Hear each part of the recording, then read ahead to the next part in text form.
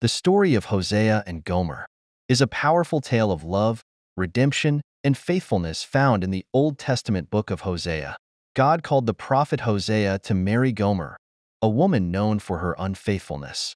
This unusual command had a purpose.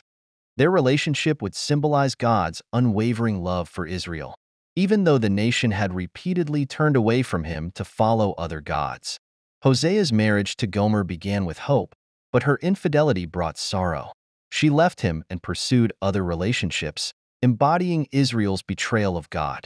Despite her unfaithfulness, Hosea was instructed by God to go after her, buy her back, and love her once more. Hosea's actions illustrated God's compassion and mercy toward his people, emphasizing that his love is not based on Israel's faithfulness, but on his own character.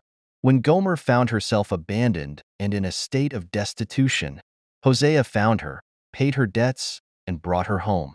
This act of grace showed that, although there are consequences for unfaithfulness, God's love offers a path to redemption.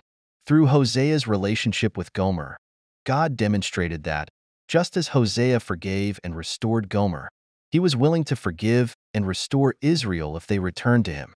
The story of Hosea and Gomer is both heartbreaking and hopeful, illustrating that true love endures, forgives, and redeems. It serves as a reminder of the relentless nature of God's love for humanity, a love that endures despite betrayal and reaches out to bring people back into a loving relationship with Him. This narrative speaks to anyone who feels undeserving of love, revealing that grace can restore even the most broken relationships. Subscribe, follow, like, comment, and share this video